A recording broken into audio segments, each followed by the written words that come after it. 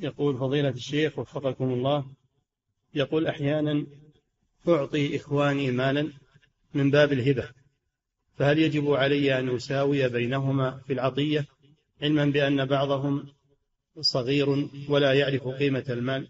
العدل في العطية بين الأولاد خاصة أما عطية الإخوة فلا يلزمك العدل فيها. نعم.